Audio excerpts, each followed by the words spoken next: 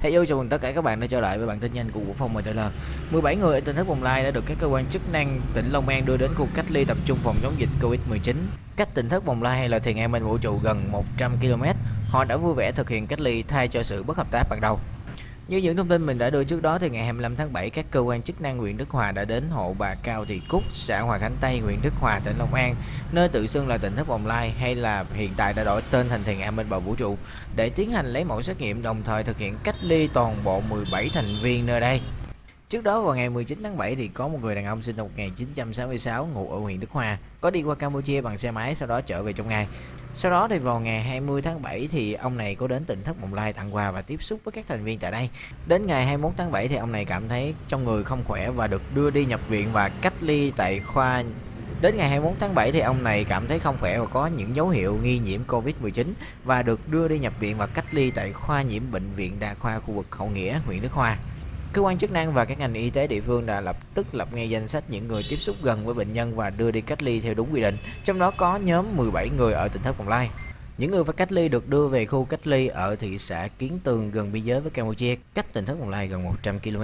Theo những người có trách nhiệm thì ban đầu những người trong tỉnh thất Bồng Lai không hợp tác thực hiện việc cách ly, vì vậy cơ quan chức năng phải thực hiện cưỡng chế cách ly Thế nhưng khi được đưa đến khu cách ly khá là sạch sẽ, thoáng mát, được chăm sóc chu đáo và được giải thích về chủ trương biện pháp của nhà nước thực hiện phòng chống dịch Covid-19 đang lây lan trở lại, thì những người ở tỉnh Thất Bồng Lai này đã vui vẻ thực hiện việc cách ly của mình.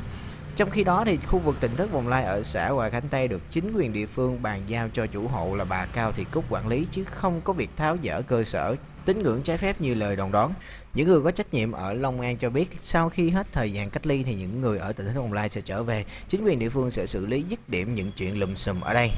Và cái câu chuyện truyền kỳ của tỉnh Thất Bồng Lai hay là Thiền An bên bầu vũ trụ này chắc chắn phải có biện pháp xử lý triệt để, nếu không hậu quả sẽ khó lường. Vì các bạn biết là ở đây vướng phải rất là nhiều scandal liên quan đến cái việc là những người ở đây cùng huyết thống và những cái vụ liên quan đến việc là mượn Phật giáo để có thể trục lợi. Như các bạn cũng đã biết thì ở đây thường có đăng tải những cái video lên YouTube và cũng như là những cái livestream đăng trên mạng xã hội Facebook. Thì à, những cái video này sẽ có ảnh hưởng rất là lớn đối với công chúng cũng như là mạng xã hội vì ở đây thì có lượt theo dõi khá là cao. Và không nói đâu xa là ngay cái chuyện cách ly này cũng có rất là nhiều cái để cộng đồng mạng có thể, gọi là, phê phán cái nhóm người này nếu các bạn còn nhớ thì ngày đi cách ly nhóm người này đã yêu cầu được đưa đi bằng xe đời mới có máy lạnh sau khi bị khước từ thì Lê Thanh Nhất Quyên đã lén livestream rồi dùng những lời lẽ mỉa mai cán bộ y tế và công an địa phương.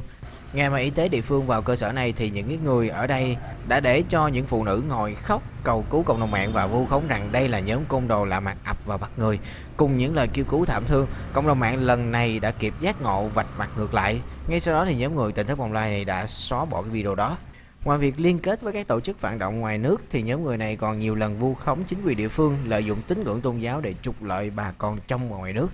Nhưng tưởng là những câu chuyện lùm xùm này sẽ sớm kết thúc khi mà Facebooker nổi tiếng Nguyễn Xin và cũng như là các mặt báo đều đăng tải là sẽ có uh, kết quả về cái tình thất bồng lai và sẽ giải quyết cái nhóm người này trong vòng đầu tháng 3, tháng 4 của năm nay. Tuy nhiên thì do cái tình hình dịch bệnh Covid nó diễn biến phức tạp nên cái vụ việc này đã dần bị trôi đi theo thời gian. Và hy vọng sau đợt cách ly này về thì chính quyền địa phương sẽ có câu trả lời thích đáng với cộng đồng mạng về cái nhóm người ở tỉnh Thất Bồng Lai hay là thiền ngạn bình bầu vũ trụ này. Và video thông tin nhanh đến đây là kết thúc. Cảm ơn tất cả các bạn đã quan tâm theo dõi video. Xin chào và hẹn gặp lại các bạn trong các video sau.